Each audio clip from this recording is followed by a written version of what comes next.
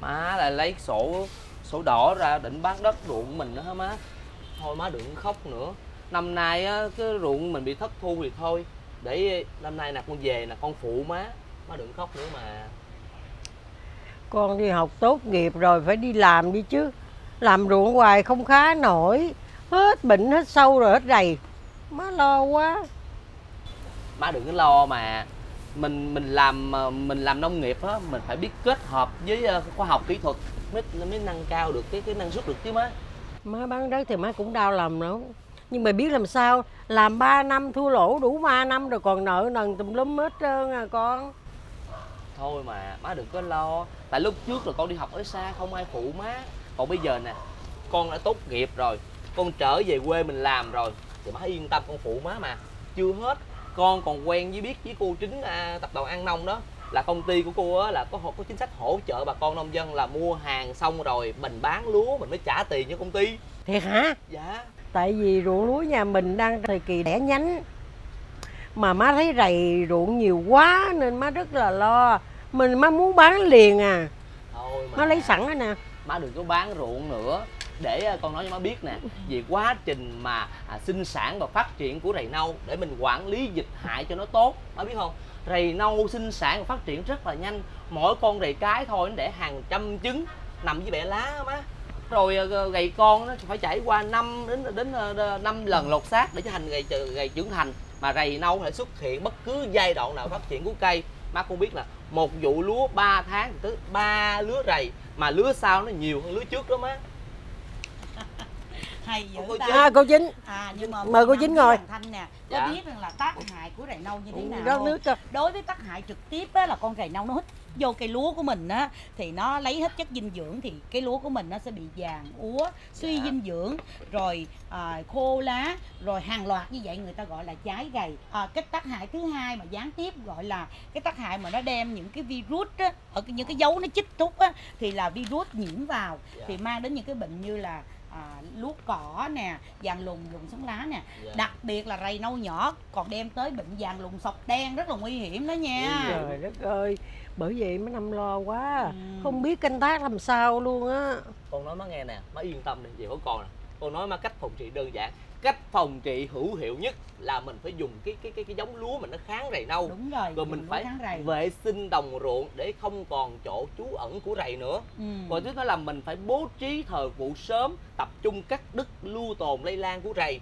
Rồi mình phải thăm ruộng thường xuyên phát hiện sớm. Rồi à, mình mình phòng ờ, trị kịp thời. Chưa hết.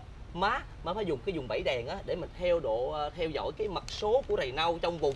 Rồi mình tiêu diệt những con rầy có cánh từ nơi khác bay đến đó má hay giỏi dữ ha. Hai cô cháu nói thiệt rồi nãy giờ má năm cũng chưa biết xài cái thuốc gì để diệt à, rầy đúng rồi. Nãy giờ mình nói quá trình phát triển sinh sản của rầy Ừ. nâu đâu có nói thuốc gì đâu. Trời con quên mất tiêu. Má biết không? Ở thị trường rất nhiều loại ờ, loại thuốc. Mà bây giờ có có, có gốc mà nitemeram. Đó. Nitemeram. đây là loại thuốc Nitemeram. mà nó nó được nó hữu hiệu lắm má mà bà con ưa chuộng dùng lắm. Năm biết không? Tập đoàn ăn nông có tới 5 tên mà trên nền tảng Nitemeram này để diệt rầy lẫn đó rất là tốt. Ừ. con biết có hai cái loại tên này nó là hot lắm nha chính nói ra bà con trong chân biết liền luôn má biết không?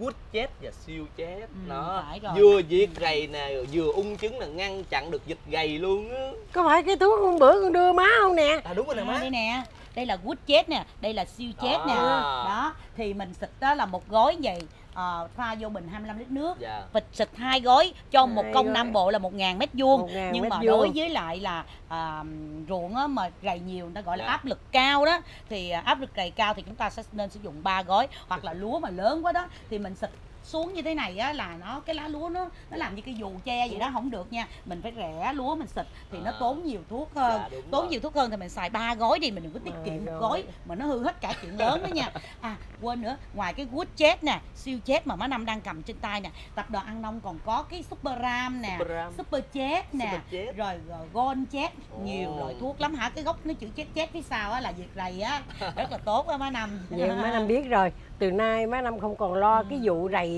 gì hết trơn nữa. Đâu có đâu má.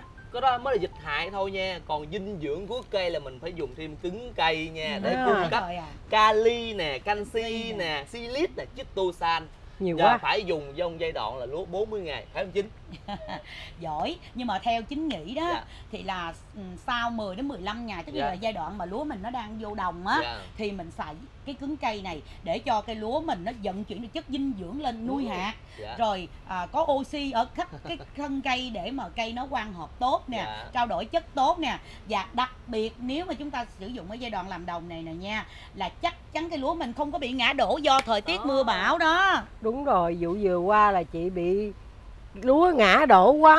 Ừ, là do luôn. mất năng suất luôn. Đó đúng rồi mất năng suất rồi à, chính nghe à, má nghe chính với con nói vậy á còn ý định bán à, bán đất ruộng nữa không?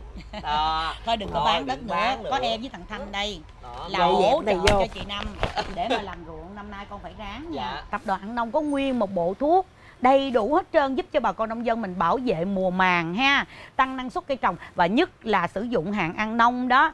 Có những sản phẩm để tạo nên nông sản sạch xuất khẩu á. Bởi vậy đúng là An Nông chung sức cùng nhà nông